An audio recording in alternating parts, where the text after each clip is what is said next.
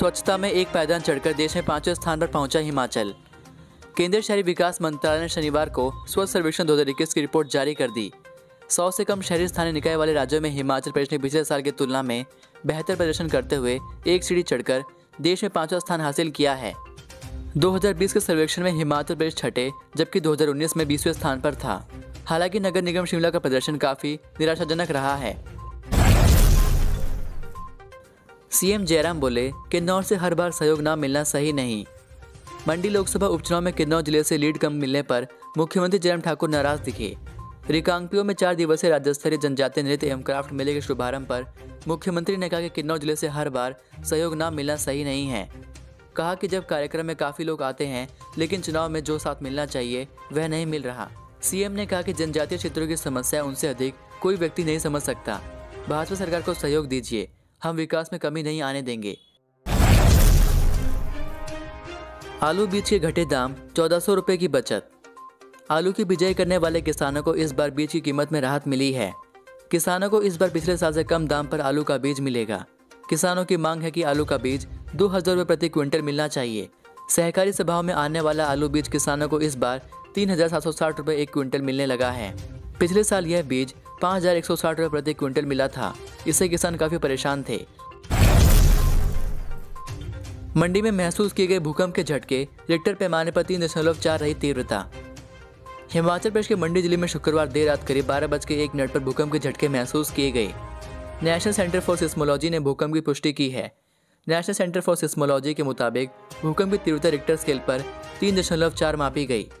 वहीं राजस्थान के जालौर में शुक्रवार देर रात करीब दो बजकर छब्बीस मिनट भूकंप के झटके महसूस किए गए। नेशनल सेंटर फॉर सिस्मोलॉजी के मुताबिक भूकंप की तीव्रता रिक्टर स्केल पर चार दशमलव छह मापी गई।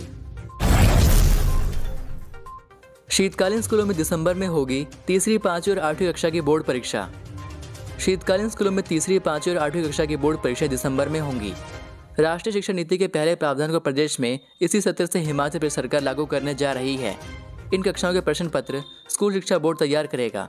उत्तर पुस्तिकाओं की जाँच क्लस्टर, ब्लॉक और जिला स्तर पर होगी।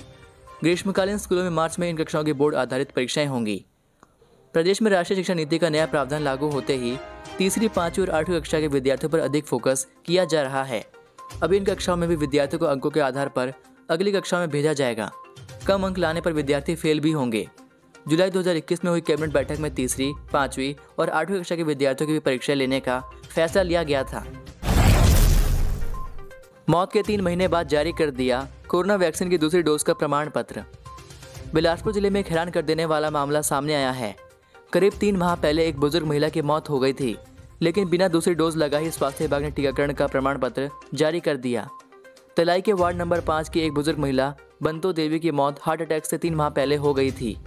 उन्हें कोरोना वैक्सीन की पहली डोज तेरह अगस्त को लगाई गई थी।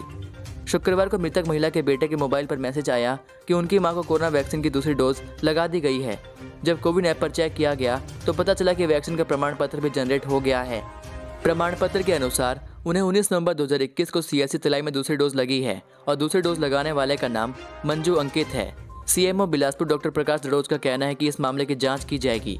वहीं जो भी दोषी पाया जाएगा, उसके खिलाफ कार्रवाई की जाएगी। ओपीडी में इलाज से पहले चिकित्सक लेंगे मरीजों से वैक्सीन की जानकारी। प्रदेश सरकार ने अस्पतालों की ओपीडी में इलाज कराने वाले लोगों को कोरोना वैक्सीन की जानकारी देना अनिवार्य किया है। जिस व्यक्ति ने वैक्सीन की डोज नहीं लगाई होगी, उन्हें नज़दीकी स्वास्थ्य केंद्र में वैक्सीन लगाने भेजा जाएगा। इसके अलावा मरीजों से उनके घर के सदस्यों को वैक्सीन लगाए जाने की भी जानकारी ली जाएगी। सरकार ने 30 नवंबर तक प्रदेश के सभी लोगों को वैक्सीन की दोनों डोज लगाने का लक्ष्य निर्धारित किया है। इसके चलते सभी के लिए टीका लगाना अनिवार्य किया है। एच ने घोषित किए दो पोस्ट कोड के परीक्षा परिणाम, जाने कितने हुए सफल। हिमाचल प्रदेश कर्मचारी चयन आयोग ने शनिवार को दो पोस्ट कोड का रिज़ल्ट घोषित किया है। आयोग ने इलेक्ट्रीशियन पोस्ट कोड 901 और junior scale stenographer post code 831 की छठी परीक्षा का परिणाम घोषित किया है। यह सभी पद अनुबंध आधार पर भरे जाएँगे। यह जानकारी कर्मचारी चयन आयोग के सचिव डॉक्टर जितेंद्र कंवर ने दी है। अधिक जानकारी के लिए आप यहाँ पर देख सकते हैं। सेना के जवान ने लगाया फंदा। युवक ने निकला जहरीला पदार्थ, दोनों की गई जान। हिमाचल में आत्महत्याओं का ग्राफ लगातार बढ़ रहा है।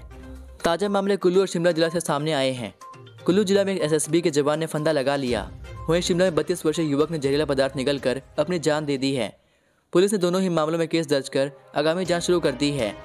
पहला मामला कुल्लू जिला मुख्यालय से 14 किलोमीटर दूर, बंदरोल के समीप एक गाँव में सामने आया है। यहाँ 40 वर्षीय एसएसबी के जवान ने घर में कमरे में फंदा लगा लिया। मृतक की पहचान 46 वर्षीय मदन गोपाल, निवासी जोहल, तहसील व जिला कुल्लू के रूप में हुई है।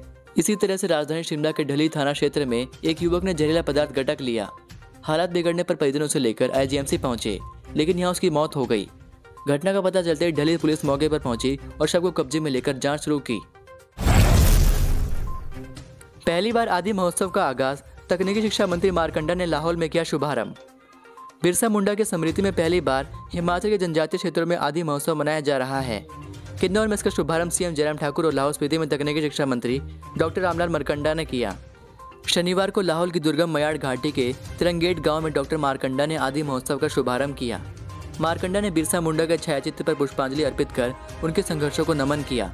यह महोत्सव पूरे देश भर में 16 से 30 नवंबर तक मनाया जा रहा है।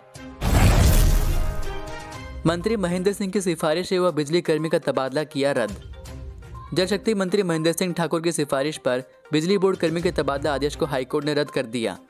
बिजली बोर्ड के हमीरपुर सर्कल कार्यालय में कार्यरत ड्राफ्ट्समैन ज्ञान चंद का तबादला बोर्ड ने हमीरपुर जिला से मंडी के धर्मपुर में कर दिया था। न्यायमूर्ति अजय मोहन गोयल की एकल पीठ ने प्रार्थी ज्ञानचंद द्वारा दायर याचिका निपटाते हुए व्यवस्था दी कि बिजली बोर्ड कर्मी का तबादला आदेश जारी करने की सिफारिश करना जल शक्ति मंत्री के क्षेत्र अधिकार में नहीं आता। यह आदेश गैर कानूनी है। इसी के साथ, यदि आपको ये वीडियो पसंद आई हो तो वीडियो को लाइक ज़रूर करें। और चैनल पर नए हैं तो चैनल को प्लीज़ सब्सक्राइब ज़रूर कर लें। चलिए मिलता हूँ आपको अगली वीडियो में। तब तक के लिए जय हिंद, जय भारत।